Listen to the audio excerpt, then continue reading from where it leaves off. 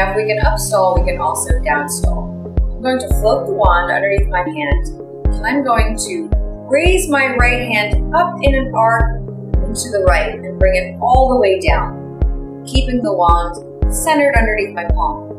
I'm then going to raise my hand up in a rainbow arc and drop it to the left side, bringing my hand all the way down. I can continue this motion